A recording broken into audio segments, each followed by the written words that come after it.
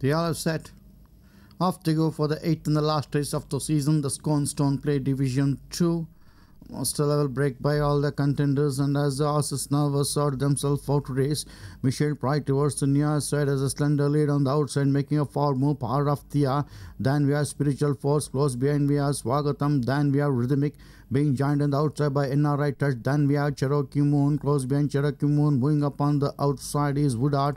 Then for the back we have Tenali. Spiritual Force comes in next. Search Calculus is there somewhere in the mid bunch.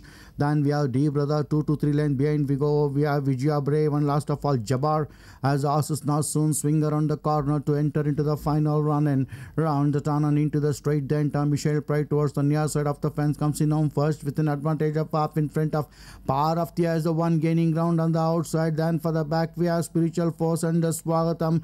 But Power of the now has taken start to lead the pack by a half in front of Spiritual Force is the one gathering much much momentum on the outside. So do his perfect imagination, but perfect imagination on the outside to Spiritual Spiritual force. Perfect imagination goes away by one and a half, two, three in front of. Uh, so calculus take the second part of rhythmic. Then we have inner right touch, spiritual force, swagatam, and the rest of the runners as they all straight past the wire.